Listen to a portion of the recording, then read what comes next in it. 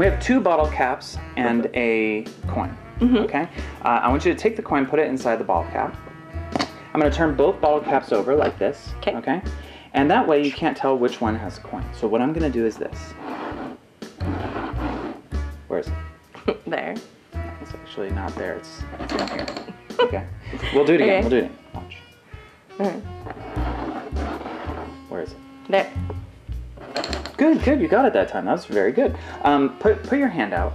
We're gonna separate them, okay? I'm gonna leave the one with the coin on the table here, Okay. and we'll put this one in your hand. And I want you to put your hand right there. That's perfect. Right there. Yeah, good. With your other hand, I want you to feel.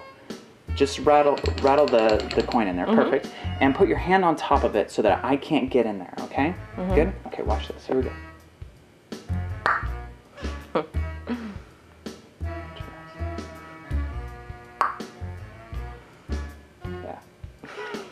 Lift your hand off of there. Okay. And shake the lid. it's not in there. It's not in there. Where'd it go? Lift, I'm not going to touch it. You lift. Right there is the coin inside the other lid.